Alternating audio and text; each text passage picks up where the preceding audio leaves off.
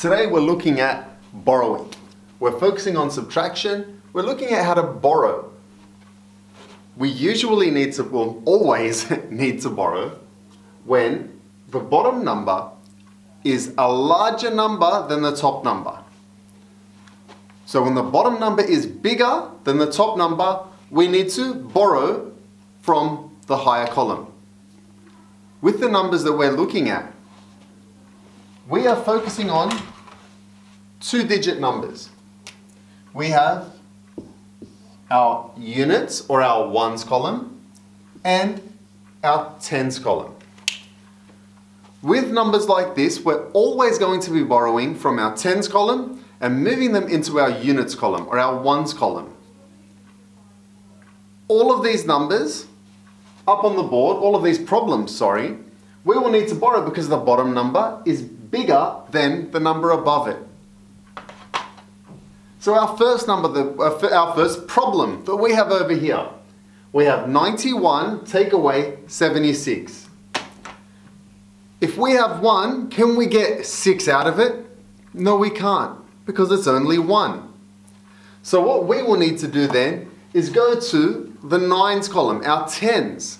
So we're going to knock on the door, cross out our 9 because it's going to be lending us some of its, some of its value. So our 9 becomes an 8 because we've taken 1 away from it. That 1 goes over to join the one next to it. Now we have 11. Can we do uh, get 6 out of 11? So if we have 11, that's really hard to do with our fingers. So 10 and 11 is higher than 6. I like to do this a bit of a backwards way because it makes it a little bit quicker. We're going to count from 6 and see how many it takes us to get to 11. So please count with me. We have 6, 7, 8, 9, 10, 11. How many did it take for us to get to 11? 5. So keeping it all in line with our units column, we write our answer of 5. Now jumping to our tens, we have 8 take away 7. And what's 8 take away 7? So we're going to count from 7 See how long it takes us to get to 8. So we have 7, 8. Now answer is 1. So our final answer for our first problem is 15. Let's try that again with our next problem. We have 74 take away 28. Now if I have 4, can I get 8 from it? No, I can't because 4 is smaller than 8. So we're going to need to borrow. Which column are we going to borrow from? Exactly, we're borrowing from our tens. So we're going to cross out our 7, and our 7 loses 1, which makes that 6. Our 4 then gets 10 from the 70, and our 4 becomes 14. So now we have 14 take away 8. So let's count up from 8 and see how long it takes us to get to 14. How many numbers do we need to get from 8 to 14? So we have 8, 9, 10, 11, 12, 13, 14. That's 6. So our answer here is 6. Now we have 6 take away 2. We're going to use our same skills. So we're going to count how long, how, how many numbers between 6 and 2. So we have 2, 3, 4, 5, 6. How many numbers was that? What what's our final answer? 4. And that brings us to 46. We're going to try that again. 42 take away 87. If we have 2 can we get 7 out of 2? No, we can't because 2 is smaller than 7. So we're going to have to knock next door.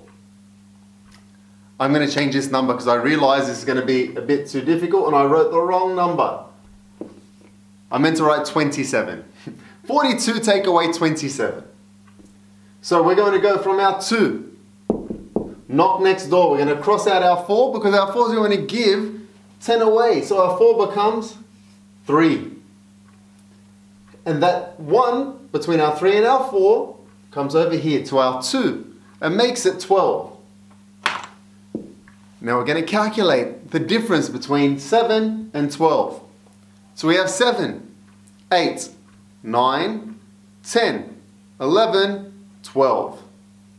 What's our answer for our units column? 5. Now we have 3 take away 2. We're going to use our same skills. What's the difference between 3 and 2? So we're going to count up. 2, 3. And that one gives us our answer of 15. Our last number that we have on the board, we have 66. Take away 19.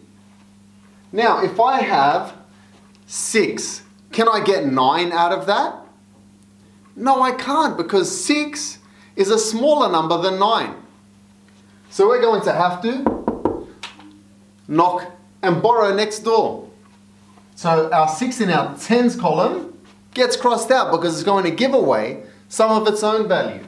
And our 6 becomes 5. That 1 is going to move next door and it's going to turn our 6 into 16.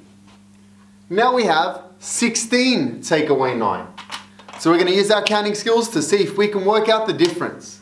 So we have 9, 10, 11, 12, 13, 14, 15, 16.